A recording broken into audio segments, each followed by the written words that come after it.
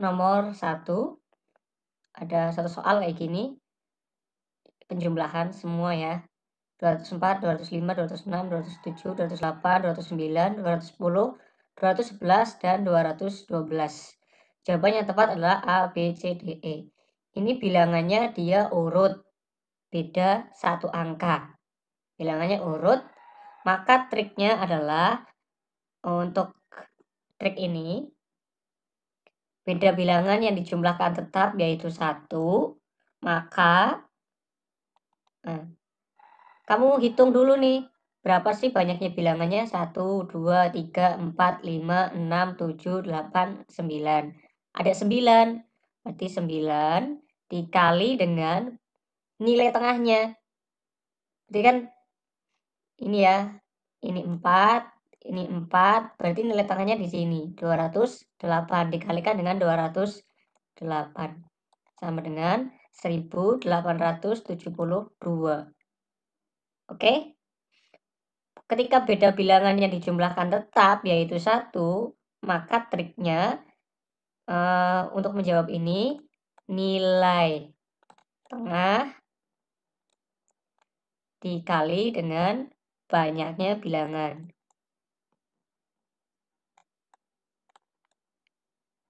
Seperti itu, ya. Nilai tengah dikalikan banyaknya bilangan. Boleh banyaknya di bilangan dikalikan dengan nilai tengah. Jadi jawabannya adalah kalau nilai tengahnya itu 208 terus banyak bilangan ada 9. Jadi jawabannya adalah yang E. Lanjut ya. Nah, ada soal kayak gini nih. 4 ditambah 125 dikurangi 4 dikurangi dalam kurung min 4 ditambah 20 dikalikan dengan 5. Ingat ya, lakukan operasi perkalian terlebih dahulu. Jadi kalau ada soal 4 ditambah 125 min 4, ini min ketemu min jadinya positif. Jadi plus 4 plus 20 dikali 5. Nah, perkalian terlebih dahulu. Kayak gini ya, dikurungi. Ini ada min 4 ditambah 4 dicoret aja, jadinya 0 ya.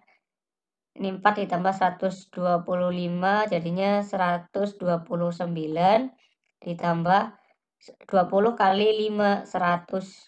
Jadi jawabannya adalah 229. Yang A. Oke? Oke. Paham ya? Lanjut. Nomor 3. Ada perkalian tapi koma-koma nih kaliannya. Jawaban yang tepat adalah nah berhubung di sini ada yang sama, ada yang sama dan di sini operasinya penjumlahan, ini perkalian, perkalian ditambah perkalian juga tapi ini ada yang sama, kita menggunakan sifat distribusi. Sifat distribusi contohnya kayak gini. Ketika A plus B dikalikan dengan C sama dengan dia A kali C. Nah, C ditambah B kali C, BC. Nah, ini kan ya, A kali C ditambah B kali C. Ini sebagai C-nya, ini sebagai C-nya. Oke ya. Jadi kita permudah seperti ini. Jadi kan dia penjumlahan terus perkalian. 0,345 ditambah ini sebagai A, ini sebagai B, ditambah 0,655 dikalikan C. C-nya berapa? 0,456. Kayak gitu. Ini 0,345 ditambah 0,655. Itu kan hasilnya 1 ya. 1 dikalikan dikali 0,456. Jadi jawabannya berapa? 0,456. Jawabannya yang B. Oke ya. Bebek nomor 4. Uh, ini pembagian, tapi ada koma-komanya. Ini di sini komanya di belakang koma ada 4 digit. Ini di belakang koma juga ada 4 digit. Maka triknya adalah kedua ruas kamu kalikan dengan 10.000 karena ini 1 2 3 4 berarti nolnya ada 4 1 2 3 4 jadi 10.000 maka dikalikan dengan 10.000 ini juga ya. Nah jadinya gimana? Untuk trik ribuan dibagi puluhan hasilnya ratusan. Ini kalau dikalikan dengan 10.000 maka hasilnya 64 64 dibagi 32 ribuan dibagi dengan puluhan hasilnya adalah ratusan. Ya udah di sini yang ratusan mana? A B C D E. Jangan C ya. Gampang ya di 202 gitu aja. Oke soal nomor 5 nilai dari bentuk akar. Nah, di dalam-dalamnya ada akar-akarnya semua ini. 6 akar 6 akar 6 akar 6 adalah uh, jawaban yang tepat. A B C D E. Kalau kayak gini kita misalkan dulu misal misal X sama dengan bentuk akarnya. 6 di dalam akar ada akar lagi. 6 akar 6 akar 6 akar 6 begitu maka kita misalkan lagi ya misalkan kita mau menghilangkan akar 6 yang di luar nih kalau akar 6 yang di luar itu kan kayak gini. Itu kan hasilnya kalau akar eh, pangkat setengah ya. 6 pangkat setengah kayak gini. Kalau kita mau ngilangin setengahnya berarti 6 ya akar 6 dipangkatkan 2 kayak gitu ya. Sama dengan 6 pangkat setengah pangkatkan 2 ini bisa dicoret kayak gitu. Biasanya kan 6 nah berarti kalau kayak gitu kita misalkan x kuadrat kayak gitu. X kuadrat 6 uh, eh, akar 6 akar 6 akar 6 akar 6 gitu Nah, uh, X itu kan ini ya, akar 6 akar 6 akar 6 berarti X kuadrat sama dengan 6 dikalikan dengan X.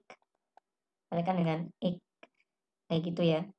Pindah ruas ke sini. X kuadrat min 6X sama dengan 0. Nah, ini ada X, ada X, berarti X, ya, X min 6. Ingat ini sifat distribusi. Kalau dikalikan X dengan X itu X kuadrat X dikalikan dengan min 6 jadinya min 6X nah, X sama dengan 0 atau X sama dengan uh, ini min 6 min 6 pindah ruas jadinya 6 jadi jawabannya adalah yang tepat E jawabannya 6 gitu ya.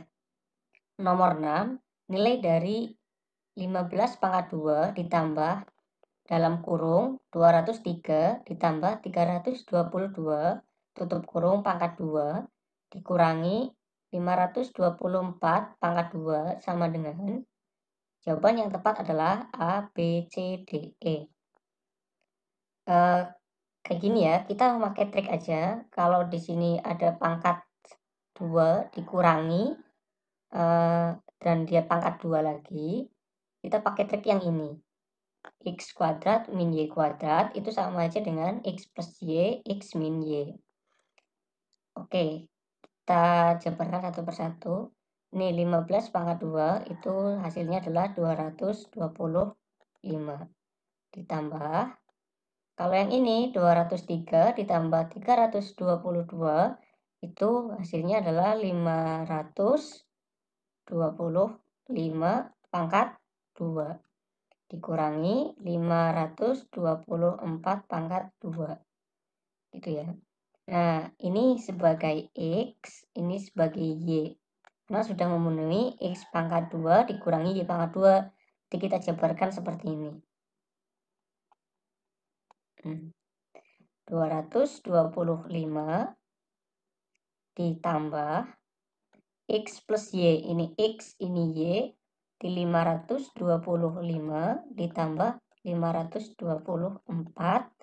dikali X min Y 525 dikurangi 524 225 ditambah 525 ditambah 524 itu 1049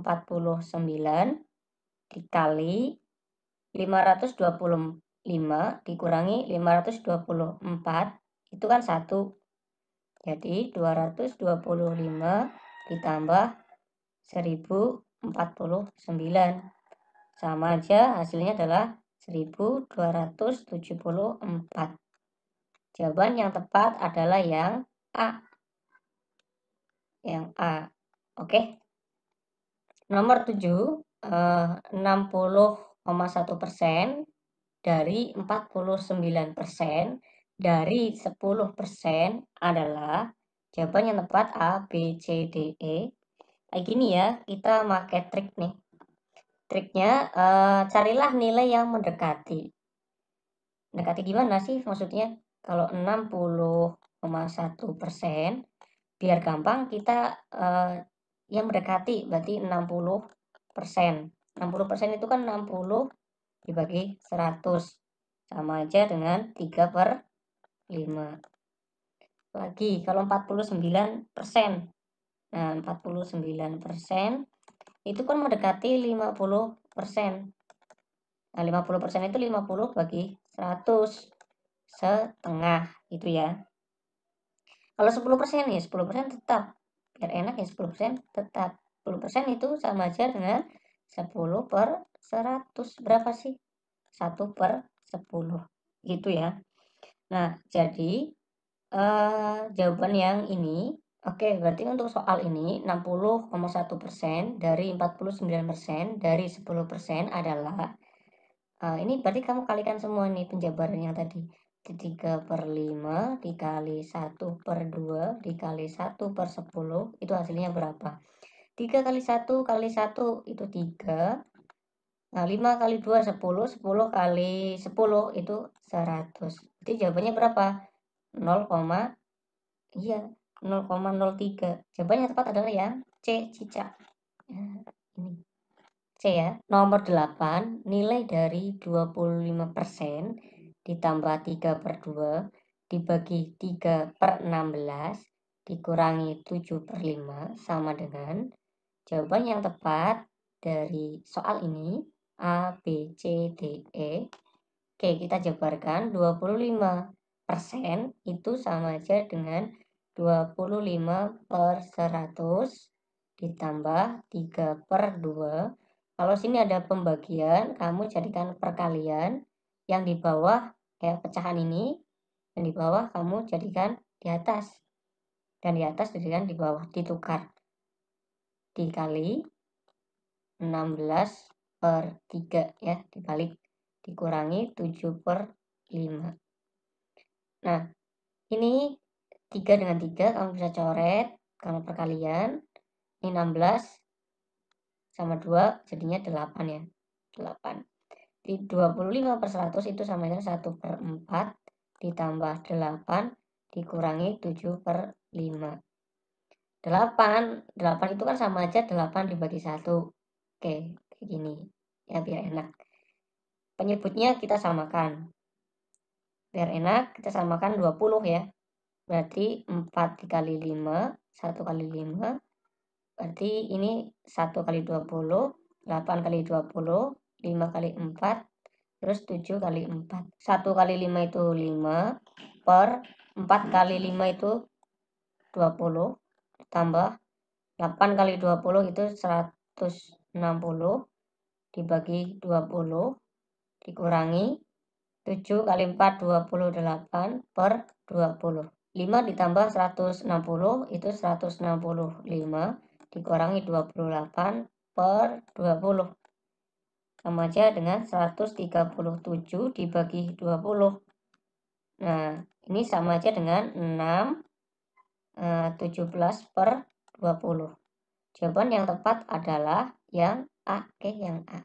Jika X sama dengan 2, Y sama dengan 3 dan Z sama dengan X kuadrat plus 2XY ditambah Y kuadrat, maka nilai dari X, Y, Z sama dengan A, B, C, D, E.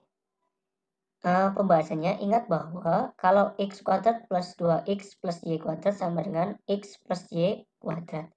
Jadi nilai Z ini, Z sama dengan X kuadrat plus 2XY ditambah y kuadrat sama aja dengan ini x plus y kuadrat. X-nya berapa? X-nya di sini 2. 2 ditambah y-nya berapa? Y-nya 3 pangkat 2 sama aja dengan 2 tambah 3, 5 kuadrat. 5 kuadrat itu 25. Yang ditanyakan apa di sini? X kali Y kali Z.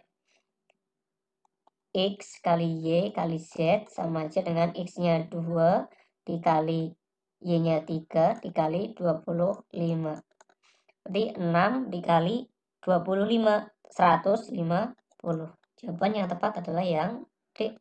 Nomor 10, jika A kurang dari B kurang dari C dan D kurang dari C kurang dari E, maka jawaban yang tepat A, B, C, D, E. Triknya eh, A kurang dari B kurang dari C dan itu kan penjumlahan. Kalau penjumlahan berarti D kurang dari C kurang dari E ini dijumlah. Berarti A ditambah D berarti kan A plus D kurang dari B ditambah C B tambah C kurang dari C ditambah E gitu ya ini kan bisa uh, tiga kemungkinan yang pertama itu A plus D kurang dari B plus C ada lagi B plus C kurang dari C plus E ada lagi A plus D kurang dari C plus E ya. C plus E. Kemungkinan yang benar mana nih? Ini A plus E. Enggak. A plus C enggak. A plus B. A plus B enggak juga. Yang D A plus E enggak juga. Yang ini E.